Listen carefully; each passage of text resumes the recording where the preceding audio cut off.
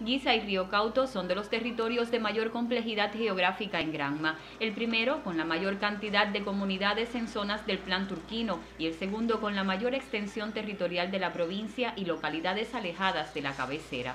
Ambos tienen en común las esencias de un pueblo con profundo arraigo revolucionario, que no se doblega ante las amenazas imperiales ni claudica en el empeño de dar por Granma y Cuba lo mejor.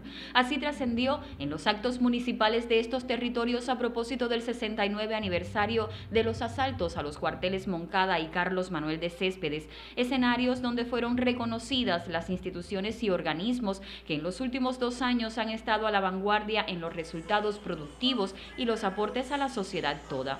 Tras estas concentraciones de pueblo, guiseros y riocautenses fueron testigos de la apertura de obras que dignifican la vida en comunidad.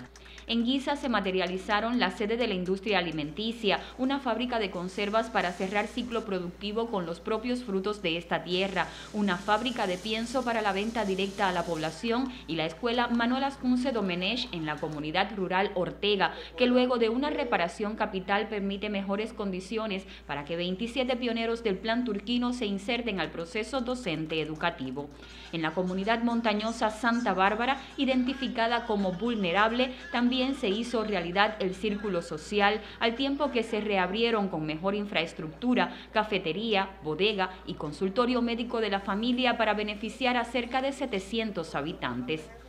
En Río Cauto, por su parte, se pusieron en funcionamiento obras de gran impacto, como el Ranchón Oasis, que forma parte de la gestión de nuevos actores económicos, con la intervención de la MIPYME TIC-TAC El Sabor del Tiempo. Igualmente, el Centro de Entomófagos y Entomopatógenos de la empresa agroindustrial de granos Capote Sosa. Se reabrió una bodega en la comunidad Cayamas como parte de la estrategia de dignificación que emprende la empresa de comercio y en la cabecera se abrieron dos puntos para la comercialización de pescado, camarón y sus derivados. Asimismo, en los dos municipios se entregaron viviendas por concepto de subsidio. En Guisa fue beneficiada la octogenaria Josefina Martínez y en Río Cauto, Miguel Urquiza. Catiusca León, Sistema Informativo de la Televisión Cubana.